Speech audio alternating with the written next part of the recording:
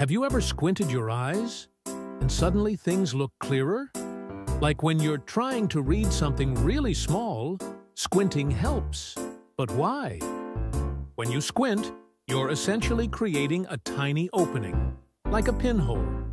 This small gap limits the size of the image entering your eye, reducing the blur on your retina. So it's not actually changing your eye's focus. It's blocking the fuzzy edges before they even hit your retina. Even if you're nearsighted, a pinhole or just gently pressing your eyelids together can make things sharper. Looking through a tiny hole in a piece of paper often works even better than squinting. Why? Because the smaller the hole, the more precise the angle of light entering your eye, making the image sharper and more focused.